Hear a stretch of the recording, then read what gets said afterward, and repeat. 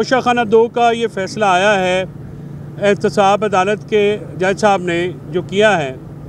तो इस वक्त जो बुशरा बेगम हैं, उनके ऊपर ये बात अदालत ने साबित ही की है कि जब नैब ने विड्रॉ कर लिया है और उन्होंने कहा कि ये केस अब नैब का नहीं है तो फिर वो किस जुर्म में जेल में है?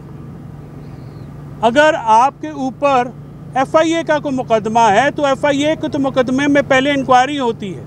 इंक्वायरी होने के बाद जो है वो मामला आगे बढ़ता है और फ्रिकैन को मौका दिया जाता है। तो आज जिस तरह से जज साहब ने ये ऑर्डर किया है, ये ऑर्डर जो है ना आइन के मुताबिक है, ना कानून के मुताबिक है, ना मरवजा, असूल और जवाबत के मुताबिक है। इसके लिए तो जो लायामल है वो हम बिल्कुल अडॉप्ट करेंगे और कल ही करेंगे, लेकिन इस वक्त बुशरा इमरान खान जो हैं, वो जेल और प्रिजन अथॉरिटीज़ की इलीगल कस्टडी में है।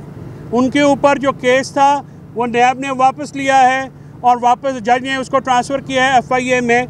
वो केस जब तक एफआईए में जाता है, जब वो केस बनेगा, दोबारा इन्वेस्टिगेशन होंगी तो वो देखा जाएगा। तो इसके ऊपर मैं ये कहना चाहता हूँ कि बुशरा इमरान खान को फौरी तौर पर रिलीज़ किया जाए और ये आज के बाद जब तक वो जेल में रहेंगी तो वो इलीगल कस्टडी है वो कस्टडी जो है पाकिस्तान के आइन और कानून के बिल्कुल ख़िलाफ़ है। और ये एक बात मैं कहना चाह रहा हूँ कि देखिए हमारे रेफरेंस जो फ़ाइल किए गए हैं सुप्रीम जुडिशल काउंसिल में आ, काजी फायजीसा साहब के ख़िलाफ़ और चीफ इलेक्शन कमिश्नर के ख़िलाफ़ और कमीशन के ख़िलाफ़ और दीगर जो हैं ये रेफरेंस फिक्स नहीं हो रहे। तो इसमें जिनके ख़िलाफ़ रेफरेंस हैं वो जो हैं वो ख़ुद कस्टोडियन हैं।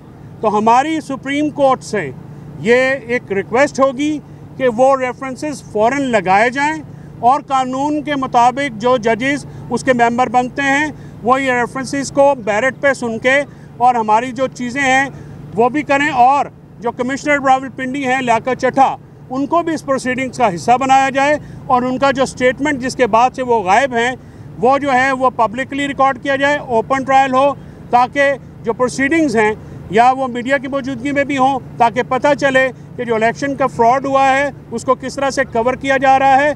और उसमें एक और जो है इलेक्शन कमिश्नर ने और कमीशन ने जो अपने फ़्राइज से पहलू तय की है उसको हम ये, हमारी आज ये, और ये मैं इमरान खान साहब की तरफ़ से और बुशरा इमरान खान साहबा की हदायत पे ये हम आज से आपके थ्रू ये मुतालबा कर रहे हैं कि वो जो हैं फौरी तौर पे फिक्स किया जाए और उन पर फैसला किया जाए। 2024 को इद्दत केस का फैसला आया था। और यही जज साहब थे, मोहम्मद अली बड़ाई साहब, जिनके सामने मैंने खान साहब की और बुशरा बीबी की दरख्वास्त ज़मानत दायर की थी। हमने इस्तः की थी कि प्री अरेस्ट बेल दी जाए, क्योंकि अब इनके तमाम मुकदमा ख़त्म हो चुके हैं। और अगर आप नए मुकदमे के अंदर इनको ज़मानत दे देंगे प्री अरेस्ट बेल देंगे तो ये आज जेल से बाहर आ जाएँगे। लेकिन उस दिन इन जज साहब ने एक गलत फ़ैसला किया और पहली दफ़ा ये हुआ कि मुलम अदालत में मौजूद है और पहली दरख्वास्त ज़मानत पर जज ने ज़मानत लेने से इनकार किया। उसी शाम को आपने देखा छः मुहर्रम को यही इसी जगह पर हमने आपके सामने रखा कि बुशरा बीबी को गैर कानूनी तौर पर हिरासत में लिया गया। आज फिर वही जज साहब हैं, मोहम्मद अली वडाइज साहब। इंतहाई गलत फैसला किया गया। उनको अख्तियार ही हासिल नहीं था कि वो अगर केस को ट्रांसफ़र कर रहे हैं या दरख्वास्त ज़मानतों को वो किसी और जज के पास भेज रहे हैं तो सिर्फ़ और सिर्फ़ इमरान खान और बुशरा बीबी की दरख्वास्तें भेजी गई हैं। आपको मालूम है कि जब एन आर ओ टू आया तो बहुत से केसेस पेंडिंग थे।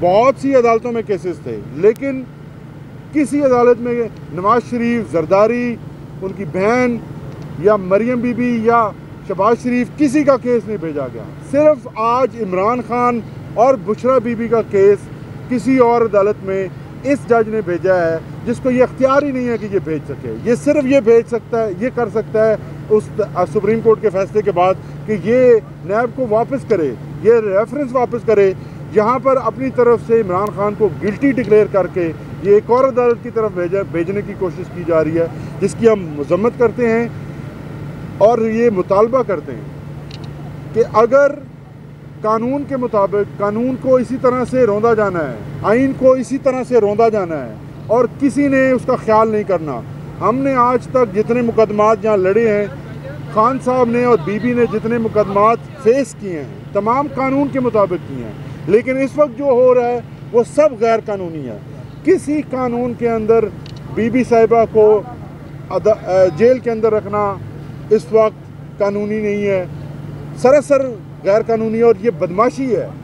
ये सिस्टम की बदमाशी है जो आपको सामने आ गई है इस वक्त। और इसको कौम देख रही है? हमने बार बार इस्तः की कि अगर आइन के मुताबिक हमें चलने दिया जाए तो चीज़ें ठीक हो सकती हैं। हम चाहते हैं कि चीज़ें पुरमन रहें। हम चाहते हैं कि लोग जो हैं, वो पुरमन तरीके से एहतजाज में आएँ, लेकिन जब आइन को आप बेवकत कर देंगे, आइन को आप आप बेमानी कर देंगे, कानून को आप सुनेंगे ही नहीं, और ऐसे फैसले करवाए जाएँगे जिनका कानून के अंदर कोई जगह ही नहीं है तो फिर श्रीलंका जैसी सूरत हाल भी हो सकती है, बांग्लादेश जैसी भी हो सकती है।